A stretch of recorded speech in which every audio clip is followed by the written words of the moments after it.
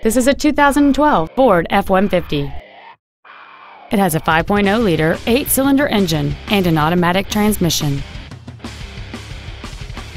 All of the following features are included. A double wishbone independent front suspension, a low tire pressure indicator, traction control and stability control systems, automatic locking wheel hubs, an engine immobilizer theft deterrent system, 12 volt power outlets, an anti lock braking system, side curtain airbags, door reinforcement beams, and power windows.